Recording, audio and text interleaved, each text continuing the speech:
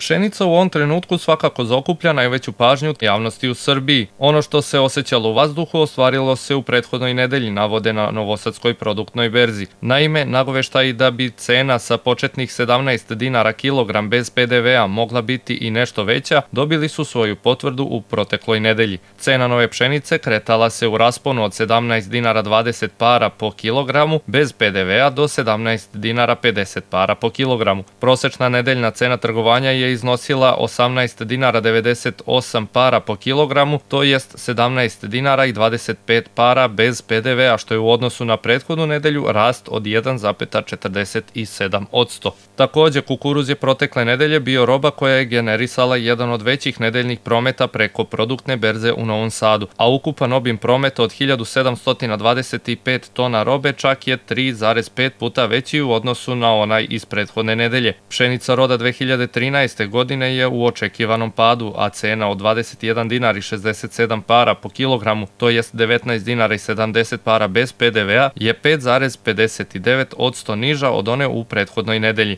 Izvoz kukuruza je u poslednja tri meseca intenziviran i to se osjeća na tržištu na našem, uprkos podacima o padu cena na svetskim terminskim tržištima, što je posledica velikih očekivanja u pogledu prinosa novog roda kukuruza, cena je u blagom porastu. Na bazi 1250 tona prometa u trgovanju tom robom realizovana je prosečna cena od 19,24 dinara po kilogramu, to jest 17 dinara i 49 para bez PDV-a.